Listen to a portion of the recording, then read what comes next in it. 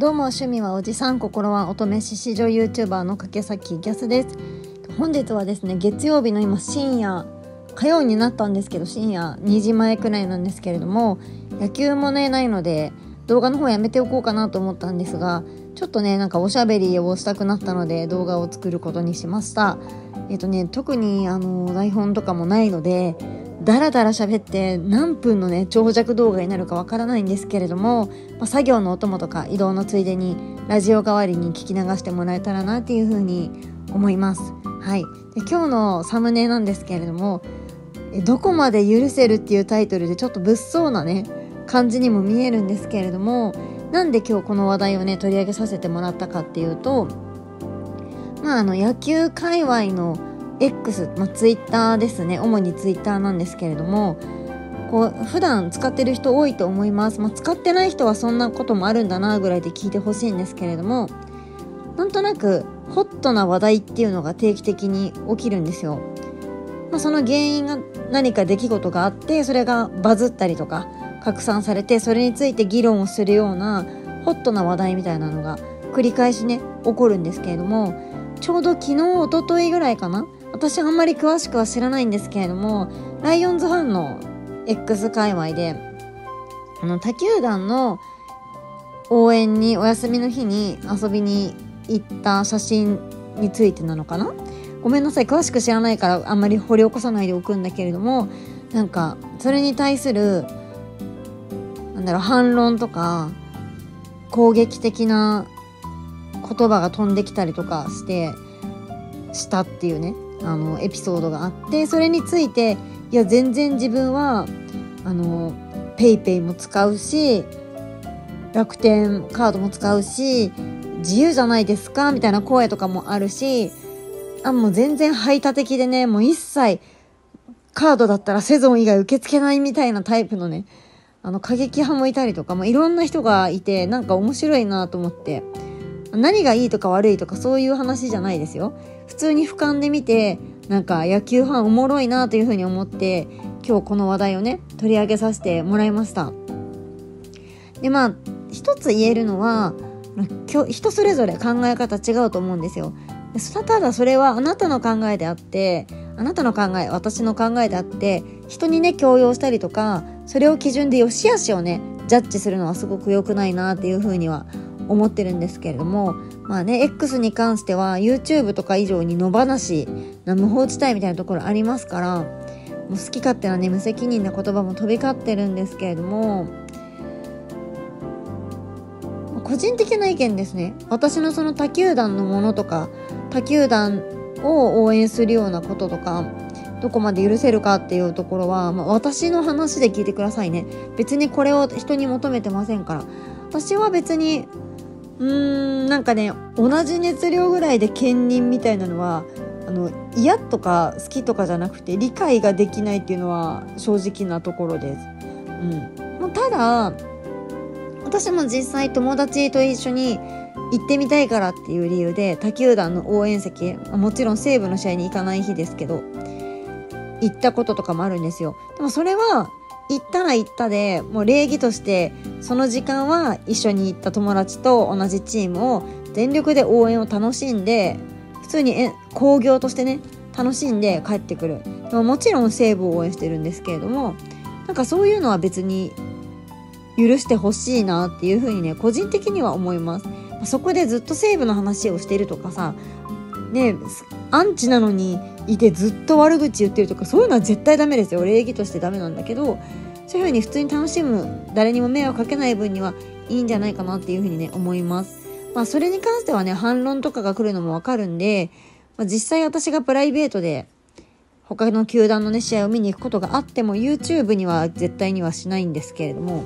そういうこともね今後もなくはないと思いますので私はなんかそんな感じですね。そのライフスタイルについても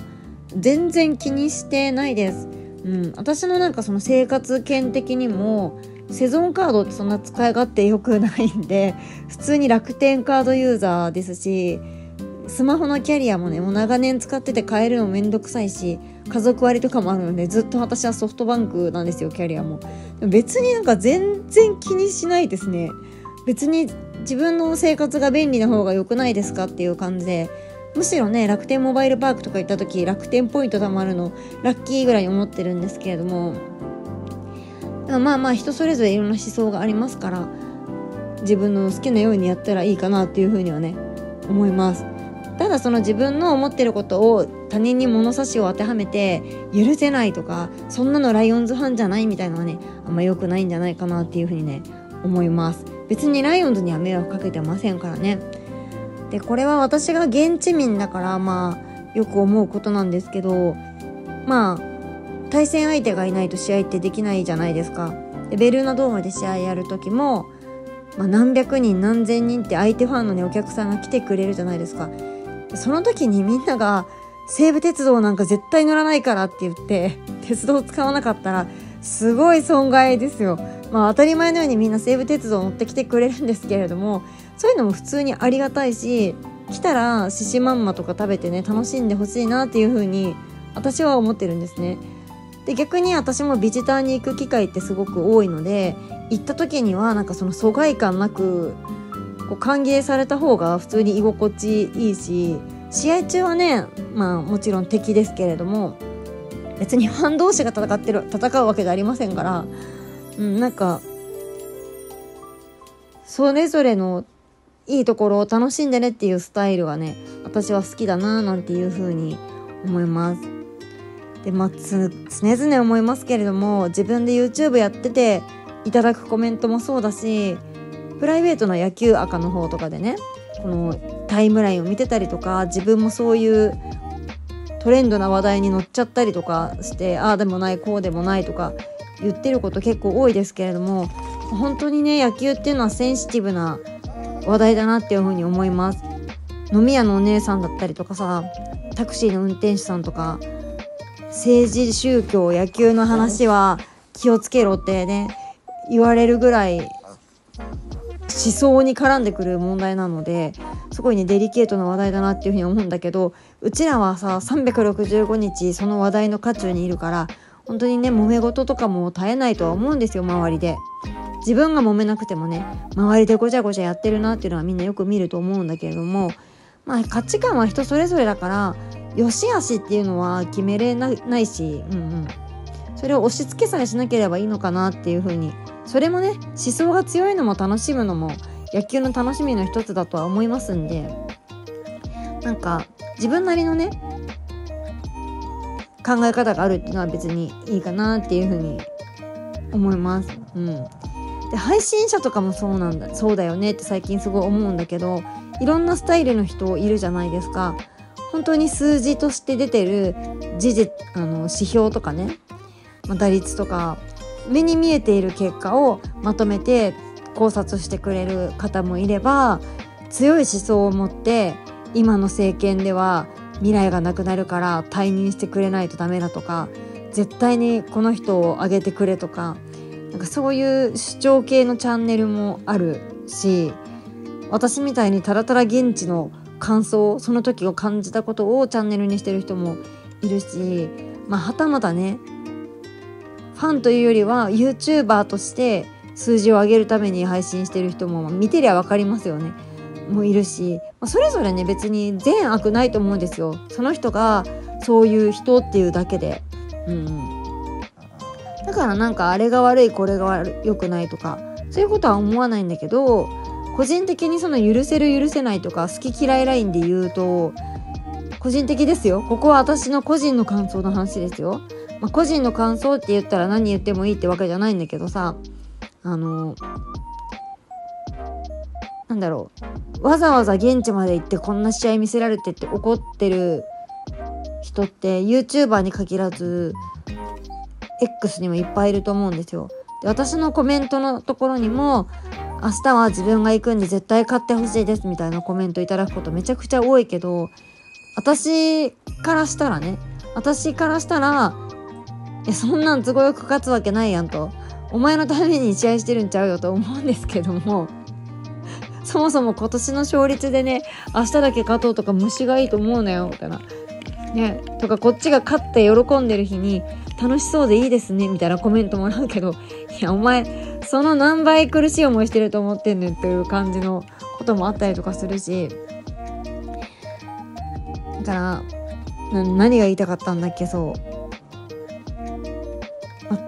まあ、特に配信まあ配信者っつったら誰って話になっちゃうからあんまり良くないんだけども普段行かなくてたまに行った行ってその時にひどい試合をされてわざわざ現地まで行って本当にバカみたいみたいなことを言われると「いやお前そもそも言ってねえじゃん」ってたまたまそういうふうに言っただけだよお前がっていうふうに私はね思っちゃうんだけどもだけど普段行かない人からしたらせっかく行った時にクソみたいな試合されたら心の底から「なんで今日なんでふざけんなよ」っていうねやる気のないちょっと怠慢っぽいプレーとか見せられたらめっちゃムカつくのもわかる。それはわかる。それも現実としてそういう気持ちを持つのも当然だと思うしでも私からしたら私は100試合以上見に行くからそんな日もあるに決まってんじゃんみたいな。こっちはもっとひでえ試合いっぱい見てんだわって思うけどそう思うのも当たり前じゃん。だって100試合以上見に行くんだから。だからなんかその両者って分かり合えることがないわけよ。お互いの気持ちが分かんないから。だからなんか変に否定したりとかもしないしあの分かり合おうとも思わないから絡まないしなんかそれでいいかなって思うんだよね。うん、思想が違う人とは関わらないそれがね一番いいと思うんですよ。ただその野球界隈のインターネットに関しては分かり合えないって分かってて絡みに行っちゃう人が多いからトラブルがすごい多いのかなっていうふうにはね思う。うんうんうんでその今回一番最初に話した他球団のどこまで許せるみたいな話と同時になんかお金を使うのは偉いみたいなお金を使ってる人の方が偉いみたいな話もちょっとねトレンドの話題に上がってたんですよ。まあ、ちょ狭い界隈のトレンドですよ。他のファンの方はね何のことって思うかもしれないけど一部の西武ファンの間で結構話があったんですけどまあ、それも人それぞれだよね。立場も違うしさ。ね学生さんとかだったらお金厳しいかもしれないしご家族がいてね守らなきゃいけない家族がね4人とか5人とかいる人と独身の人じゃそれこそ使えるお金も時間も違うから何とも言えないけどそれに関してはなんか私はどっちが偉いみたいなことは思わないね。だって好きで言ってるだけだからさ偉くなりたくて100試合以上行ってるわけじゃないからさ自分が見たくて行ってるんだよ私は。ただ一つ言えるのはお金をもう一切使わない。試合は見るけど中継オンリーで一切球団のグッズとかもなんか意固地になって買わ何も買わない人いるじゃないですか。絶対にお金あんま使いたくないマンみたいな人、まあ、めったにいないかもしれないけど。それでプライベートだったら許せるんだけどなんか配信者さんとかで1円も使わずに文句ばっかり言ってる人を見るとなんか球団はあなたのおもちゃじゃないんだぞっていう風には私はすごい感じるのね。そういう意味で言ったらそれはお金使ってる人の方が偉い言う権利あるよって思っちゃう。なんでその言える権利があるかっていうのは消費者になった時点で何か物を何かあった時に物を申す権利は発生するんだよ。ま、例え話好きだから例え話をするんだけど、じゃあラーメン屋さんで、ラーメン屋さんの例え多いな、私。わかりやすいからね。ラーメン屋さんでラーメンを食べましたと。新しくできたラーメン屋に行って。美味しくなかったですと。それを正直に美味しくないって思うのは感想じゃん、その人の。で、その人が知り合いに、最近やってきたあそこのラーメン屋美味しくなかったよって言ったら、これ口コミじゃん。もしくはお店に「すいませんあの申し訳ないけど美味しくなかったんです」って言ったらそれはお客様のアンケート回答じゃん。まあ、クレームかもいいクレームでもいいよ。めっちゃしょっぱくて食べれないぐらいしょっぱくて。ちょっとすいませんこれあの試食されてますか？しょっぱすぎてとてもじゃないけど食べれないんですけどって。これも消費者だから言えるクレームじゃん。でもそれを食べてもない人が噂話とか外から見た偏見であそこのラーメンめっちゃまずいらしいから行かない方がいいよって言って回ったらそれは営業妨害ですよね。って言ったら分かりやすいかな。そう。だから野球って中継でも楽しめるじゃん。しょっちゅう行く。私みたいに行くのはもちろん当たり前じゃないよ。私が頭いかれてるって分かってるけど1円も使わないでなんか口の悪い文句を言いまくっている人っていうのは私はなんかそれは違うんじゃないっていうふうに思う。ラーメン屋の例えですごいね分かりやすく伝わってくれたらいいなっていうふうに思うんだけどね。うんうんうん。でも別にお金を使うのが偉い。使わないから偉くないってわけじゃなくて現地に行けないなりに毎日試合とか見て純粋に応援してる。もうそれはファンだと思うよ。それはファン。うん。まあ、ただそのファンの気持ちが球団とか選手に届いてるかって言われたら届いちゃいないんだけど ひどいこと言うようだけど届いちゃいないんだけどね。だってね私がいくらさ芸能人でもう超好きあの人超かっこいい超応援してるって言ってもテレビの前で1ミリだって伝わらないじゃん。ね。その人の給料にも1ミリも反映されないじゃん。それと同じことだよ、うん、って思うからでもなんかそれだとしても個人の自由だから好きに発言していいと思うけど YouTube とかはお金が発生するじゃん。1000人。登録者数が1000人を超えてたら。で現地に行かないのに文句ばっかり言ってそれで収益を得ている人は本当に球団にとって良くない存在だなっていうふうに私は思う。すごい、まあ、幸い西武ファンの YouTuber はそんな人一人もいなくてすごい嬉しいなって思うんだけど他球団とか見てるとちらほらいるからそういうのは許せないなっていうふうにね思う、まあ、もちろん好き嫌いはね視聴者さんみんなあると思うし私のチャンネルだってね嫌いな人は嫌いだと思うからそれはそれでいいんだけどなんかこうみんなのね許せる許せないラインって X だったりとか YouTube だったりとか、まあ、現地でだったりとかいろいろあると思うんだけどそういう話ねこういう議論しょうもない議論結構好きなんですよ。野球ファンの話ね。プレーとか野球のプレーとか結果とか編成とかさそういう話じゃなくてこういうファンの話はすごい私好きで集団心理とか好きでさ。だからなんかたまにはこういう話をしようかなと思って動画を回してみました。ちょっとね元ネタになってしまった人には不快に感じたら申し訳ないんだけれども元ネタっていうかその今回ね昨日おとといぐらいで西武ファンの一部でちょっとトレンドになってた話題の主さんにはね申し訳ないんだけど私はねいいと思いますよっていう意見です。そもそもなんかそういうその話の元になってしまった方もどっちも応援してるとかじゃなくて帰省したついでに空いた日で、まあ、ご家族だかお友達とかと誰かと一緒にお相手のチーム、まあ、西武戦じゃなかったんですけどお相手のチームをユニフォームも着て普通に楽しく応援してたっていうお話だったと思うんですよ。それぐらい興行なんだからよくねとか思うけどそれでも許せないっていう人もいるんだなって思うとなんか野球ファンって面倒くさいけど愛おしいそ生き物だなっていうふうに思いました。